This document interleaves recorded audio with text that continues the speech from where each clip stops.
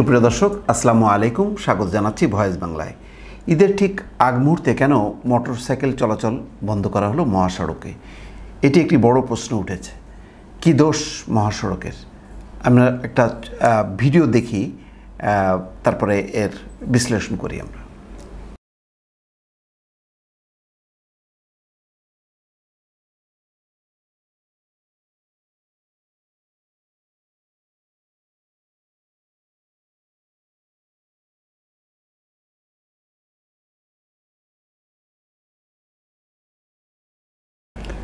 দর্শক দেখলেন, তো এই যে যাদেরকে দেখলেন মোটরসাইকেল চালাচ্ছে, এরা কারা?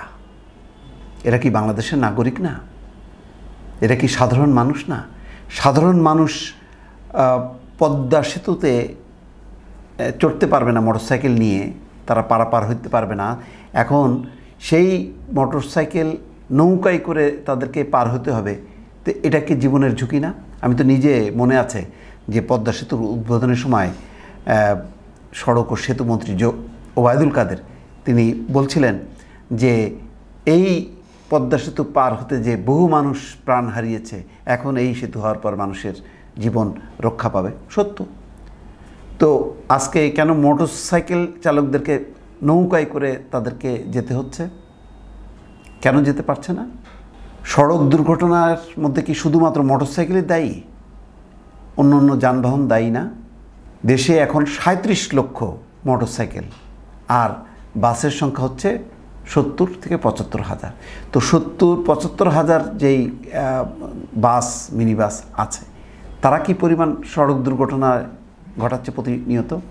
আর মোটরসাইকেল কি পরিমাণ মোটর দুর্ঘটনার মধ্যে পড়ছে? সেই পরিসংখ্যান আমরা যদি নেই, তাহলে তো এখনও দেখা যায় যে বাসগুলো বেশি দুর্ঘটনা ঘটাচ্ছে।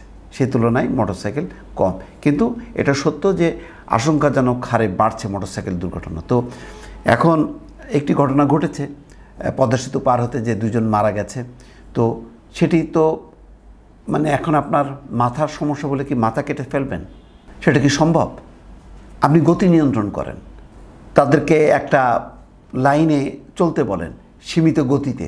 তো সেইগুলো নিয়ন্ত্রণ আরোপ না করে, সেটা শুধু মোটরসাইকেল কেন, সকল যানবাহনের ক্ষেত্রেই তো এই নিয়ম যদি করা হয়, যদি শৃঙ্খলা তৈরি করা যায় সড়কগুলোতে, তাহলে তো দুর্ঘটনা কমে যাচ্ছে। কিন্তু আমি মহাসড়কে কোনো শৃঙ্খলা আমি রাখব না। ইচ্ছে মতন স্পিডে গাড়ি ঘোড়া চলবে, আর দুর্ঘটনা ঘটলে তার দায় আমি চাপাবো হলো এই মোটরসাইকেলের উপর, বিশেষ করে মোটরসাইকেলের উপর, যেই এমন একটা সময় মোটরসাইকেলগুলো বন্ধ করা হলো, যখন হাজার হাজার মানুষ মোটরসাইকেল দিয়ে এক জেলা থেকে আরেক জেলায় যাচ্ছে এবং তারা ঈদের ছুটি কাটাতে। বাংলাদেশের যেই সমস্ত পরিবহন আছে, বড় বড় বাসগুলো, সেগুলো দিয়ে কি সবাই গত বিগত মানে বছরগুলোতে তারা কি সবাই কি বাড়িতে গেছে যার বাড়িতে? তো এখন কেন যেতে পারবে না? অনেকেরই সামর্থ্য নেই বাসে টিকিট কেটে ওঠার। অনেকে সময় মতো বাস ধরতে পারে না। তো তাদের জন্য তো একমাত্র বিকল্প হচ্ছে মোটরসাইকেল। আর যদি পদ্মা সেতুর কথা বলা হয় এপার ওপার বহুদিন ধরে মানুষ অভ্যস্ত যে এক জেলার মানুষ আর এক জেলায় তারা মোটরসাইকেলে করে যাবে, পরিবার নিয়ে যায়, বন্ধুবান্ধব নিয়ে যায়। এটা একটা সাধারণ পরিবহন। সেই পরিবহনের উপর কেন চড়া হতে হলো? ঠিক ঈদের আগ মুহূর্তে কার স্বার্থে? বাস মালিকদের জন্য? বাস মালিকদের জন্য সুবিধা করার জন্য কি সাত দিন ঈদের আগে পিছে মিলে সাত দিন বন্ধ রাখা হলো? তারপরে মোটরসাইকেলগুলো চলবে এবং তখন কি কোনো দুর্ঘটনা ঘটবে না? মানে এরকম এক পেশে নীতি কেন? মোটরসাইকেলের যা- যারা লাইসেন্স করে, তারা তো রোড, ট্যাক্স ট্যাক্স সবই দেয়। তাহলে এই পদ্মা সেতু করে লাভ কী হলো? রোড, ট্যাক্স দিয়ে যদি বাসগুলো যদি যে যাওয়া আসা করতে পারে, তাহলে মোটরসাইকেল কেন না? আগে কি বলা হয়েছিল কখনো যে এই পদ্মা সেতুতে কখনোই মোটরসাইকেল উঠতে পারবে না বা পার হতে পারবে না? তা তো বলা হয়নি। একটা দুর্ঘটনা ঘটার পর পুরোপুরি বন্ধ করা হলো। এখন বাসের যে দুর্ঘটনা ঘটে, তাহলে কি এখন মহাসড়কে বাস চলাচল বন্ধ হয়ে যাবে? বলা হবে যে বাসগুলো অনিয়ন্ত্রিতভাবে চলাচল করে, সুতরাং এখন আর বাস চলাচল করতে দেওয়া হবে না। মানে কেন? এই যে এক একটা সিদ্ধান্ত নেওয়া হয় সিদ্ধান্ত নিয়ে তার যে ভিকটিম হচ্ছে কিন্তু সাধারণ মানুষ। এবং এখন দেখেন যে শেষ খবর, খবরটা কি? এখন বিভিন্ন মিডিয়াতে আসছে যে নিষেধাজ্ঞা উপেক্ষা করে মহাসড়কে মোটরসাইকেল। এই ধরনের এ সম্ভব না। সাঁত্রিশ লাখ মোটরসাইকেলের লাইসেন্স দেওয়া হয়েছে। মহাসড়কে যদি বিশ, পঁচিশ লক্ষ এই মোটরসাইকেল চলাচল শুরু করে, এটা ঠেকানো সম্ভব? দেখুন, আজকে যেই খবর বেরিয়েছে যে বলা হয়েছে যে ঈদুল আজহার আগে পরে কয়েকদিন মহাসড়ক দিয়ে এক জেলার মোটরসাইকেল অন্য জেলায় চলাচল বন্ধ থাকবে বলে সরকার ঘোষণা দিলেও গাজীপুর ও নারায়ণগঞ্জের মহাসড়কগুলোতে তা খুব একটা বাস্তবায়ন হচ্ছে না। বৃহস্পতিবার দুপুর, দুপুরে নারায়ণগঞ্জের ঢাকা, চট্টগ্রাম মহাসড়কে মেঘনা সেতুর টোল প্লাজায় দেখা যায় মোটরসাইকেল চালকরা নির্বিঘ্নে মেঘনা সেতু হয়ে চলাচল করছেন। তো মেঘনা সেতুর টোল প্লাজার টোল কালেক্টর ওবায়দুল হক বলেন, মহাসড়কে মোটরসাইকেল বন্ধের কোনো সরকারি সিদ্ধান্ত তারা পায়নি। এই কারণে মোটরসাইকেল চালকদের কাছ থেকে টোল আদায় করে সেতু ব্যবহার করার অনুমতি দিয়ে তাদের চলাচল করতে দেওয়া হচ্ছে না। তো যেই সিদ্ধান্ত মানে ইমপ্লিমেন্ট করা যাবে না, যা কার্যকর হবে না, সেই ধরনের সিদ্ধান্ত দেওয়া হয় কেন? কার স্বার্থে? এখন, এই যে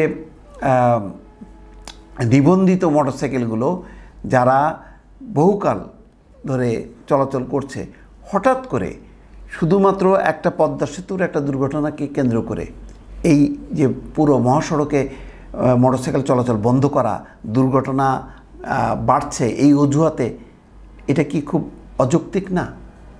এটা কি অন্যায় না? দুর্ঘটনা তো ঈদের সময় শুধু মোটরসাইকেলের বাইরেও বাসগুলোও দুর্ঘটনায় পতিত হয়। তাহলে কি বাসগুলো বন্ধ রাখা হবে? দেখুন যে যেটা বলা হচ্ছে রিপোর্টে যে সাম্প্রতিক সময় মোটরসাইকেলের সংখ্যা অস্বাভাবিক বেড়েছে। দুই হাজার দশ সাল পর্যন্ত মোটরসাইকেলের সংখ্যা ছিল সাড়ে সাত লাখের মতো। বর্তমানে তা পৌঁছেছে সাঁত্রিশ লাখে। অর্থাৎ গত এক যুগে মোটরসাইকেল বেড়েছে প্রায় তিরিশ লাখ। বিশেষ করে দুই হাজার ষোলো সাল থেকে ভাড়ায় চালিত রাইড শেয়ারিং মোটরসাইকেল চলতে দেওয়ার পর এই সংখ্যা লাফিয়ে লাফিয়ে বেড়েছে। এর সঙ্গে সাম্প্রতিক সময় মোটরসাইকেল দুর্ঘটনায় প্রাণহানিও বেড়েছে। এখন দেখুন, এটা সত্য যে প্রাণহানি বেড়েছে, দুর্ঘটনা বেড়েছে, কারণ মোটরসাইকেলের সংখ্যা বেড়েছে। কিন্তু এই মোটরসাইকেল তো বহু যুবকের কর্মসংস্থানের ব্যবস্থা করেছে। বহু মানুষ এটা দিয়েই জীবিকা নির্বাহ করে। যার এই বেকারের দেশে বহু যুবকের কোনো কর্মসংস্থান নেই। তার একমাত্র মানে জীবিকা নির্বাহের বাহন হচ্ছে এই মোটরসাইকেল। তো ঈদের সময় বাস মালিকরা যদি যাত্রী পরিবহন করে, যদি তারা ইনকাম করতে পারে এবং আজকে খবর হলো গাবতলিতে তারা দ্বিগুণ, তিনগুণ ভাড়া দাবি করছে। তো সেখানে মোটরসাইকেল চালকরা এই ঈদের সময় তারা কোনো ইনকাম করতে পারবে না। তো তারা ঈদ করবে কীভাবে? তাদের উপর কেন এইভাবে চড়াও মানে হলো সংশ্লিষ্ট কর্তৃপক্ষ? এটার কিন্তু কোনো ব্যাখ্যা পাওয়া যাচ্ছে না। এবং সবচেয়ে বড় কথা হলো, এখন কি হলো? যে এখন শেষ মুহূর্তে এসে মোটরসাইকেলগুলো ব্যাপকভাবে এখন নামতে শুরু করেছে মহাসড়কে এবং যথারীতি তারা চলাচল করছে। তাহলে এই ঘোষণা দেয়া, এই ধরনের নোটিশ করার অর্থটা কি হলো? সব মিলে আসলে মানে আমাদের এখানে যেই সিদ্ধান্তগুলো হয়, এগুলি কখনোই পরিকল্পিতভাবে হয় না। এটা কোনো না কোনো একটা স্বার্থান্বেষী মহলের তার স্বার্থের অনুকূলে সিদ্ধান্ত হয় এবং পরে দেখা যায় চাপের মুখে সেই সিদ্ধান্তটা অকার্যকর হয়। এই ঘটনা, এটার ক্ষেত্রেও কিন্তু সেই একই ঘটনা ঘটল দর্শক। দর্শক, আজ এ পর্যন্তই। ভালো থাকবেন। আল্লাহ হাফেজ।